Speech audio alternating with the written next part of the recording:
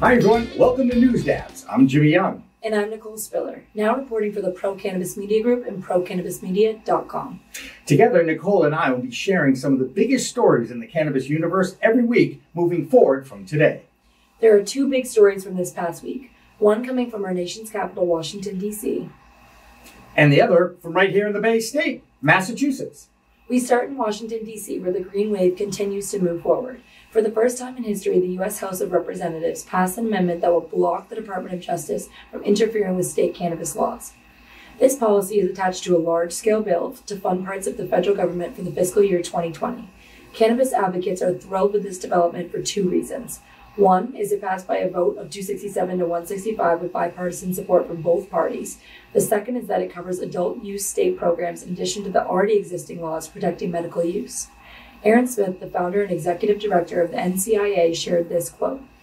This was truly a historic vote, and this is the farthest reaching action Congress has ever taken to reform outdated federal marijuana prohibition policies.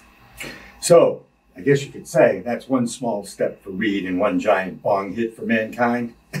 LOL. I'm sorry, I had to do it. It is the 30th anniversary, after all, of Neil Armstrong's walk on the moon. But seriously, folks, there was another development here in Massachusetts that has the farm, hemp, and CBD community in an uproar.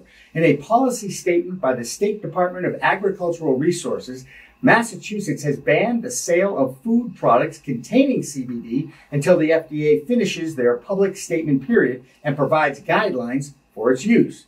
Now, the policy does allow for the growing and production of hemp based oils, seeds, and clothing, but Governor Baker made it clear that they are taking their cues from the federal government and the FDA. At the New England Cannabis Convention this past weekend in Springfield, I talked with some of the small startup businesses who are not too pleased with this policy change. Oh, absolutely. There's so much confusion. I mean, the fact that the flowers look pretty similar scares MDAR. I know that for a fact, and I know it scares a lot of people that don't understand the plant. Now back to Springfield and their first annual New England Cannabis Convention. Hundreds of vendors and thousands of people flocked to the Mass Mutual Center on this beautiful weekend to check out many local vendors and exhibitors from all over the country and in Western Mass. Mark Shepard is a co-founder of NECAN and compared his first convention five years ago. Uh, we've had a terrific weekend here. Um, met a lot of new people from outside this area who've come to the show from different markets, from Vermont, from Eastern uh, New York, from Connecticut. Um, so it's been fantastic. We've had a great turnout. We've got an amazing set of exhibitors, and the uh, programming has been some of the heavily, heavily attended programming we've had at any show. Now let's check the Mass State Cannabis Sales Tote Board for the week of June 16th. Adult use sales of cannabis is now up to over $1 million a day from the 20 licensed dispensaries in Massachusetts. The total for the industry since it launched in November 2018 is now at once $163 million in sales of legal cannabis.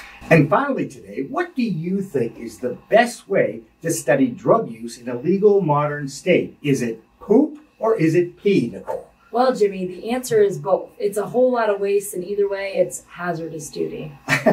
LOL on that one for sure. And you are right. Researchers at the University of Puget Sound in Washington State picked up a grant of $120,000 over the past three years from the substance abuse world to study THC COOH. That's the metabolized chemical from weed in human urine.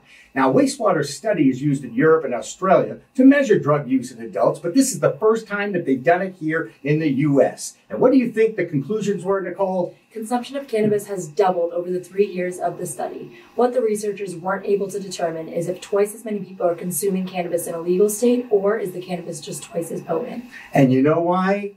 Because it's a whole new world of weed out there. And for the Pro Cannabis Media Group and ProCannabisMedia.com, I'm Jimmy Young.